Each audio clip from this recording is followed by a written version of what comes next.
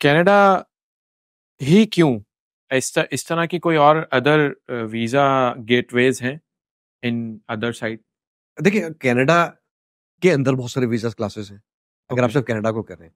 Virus अगर US को देख, देखेंगे तो उसका जो नेबर कंट्री है ऑब्वियसली लैंड ऑफ़ अपॉर्चुनिटी है यूएस यूएसए यूएस के लिए दोनों ही कैटेगरीज स्किल्ड के लिए भी अब जो है पिछले दो तीन साल से आप देख रहे होंगे बिज़नेस के लिए भी आपको जो है ना काफ़ी अपॉर्चुनिटी है। और लोग प्रेफर करते हैं।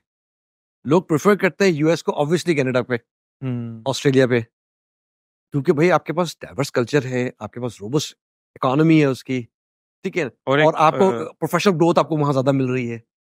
और टैक्सेस वगैरह भी अगर आप देखें तो कंपैरेटिवली कहीं कम ज़्यादा हो सकते हैं बट बहरहाल आपको लिविंग स्टैंडर्ड है चीज़ें हैं और लिबर्टी जो आपको मिलती है तो वो आपको यूएस के अंदर ज़्यादा मिलती है। मेरे पास केसेस है from Australia applying for US two oh I see UK applying for EB two NIW even Canadian applying for EB two तो ये और इसके अलावा तो डिफरेंट पार्ट से तो सऊदी से कतर से इंडिया से हाँ, पाकिस्तान से तो एक तो रशिंग है ये इवन तो। दुबई के अंदर मेरे पास एक इंडिया के हैं साहब तो उन्होंने अप्लाई किया हुआ है बहुत रिगार्ड करते हैं बहुत अच्छा करते हैं। शायद हो सकता है मुझे फॉलो भी करते सुने भी तो वो लोग कर रहे हैं लेकिन उनका जो टाइम लाइन है बहुत ज़्यादा है। हम्म। वो दस ग्यारह साल का जो है वो इंडिया का टाइम लाइन है तो उसको उनको उनके लिए ज़्यादा सूट करते हैं। ये भी वन अगर आप कर लें आप तो वो आपका जो है वो ज़्यादा आपको ज़्यादा सूट करता है क्योंकि वहाँ पर आपको अपॉर्चुनिटी मिल जाती है आ, कि अगर आपके पास इतनी सिग्निफिकेंट अचीवमेंट्स हैं और नेशनल और इंटरनेशनल लेवल के ऊपर तो वो कर सकते हैं। तो अपॉर्चुनिटीज़ तो है वीज़ा क्लासेस भी हैं।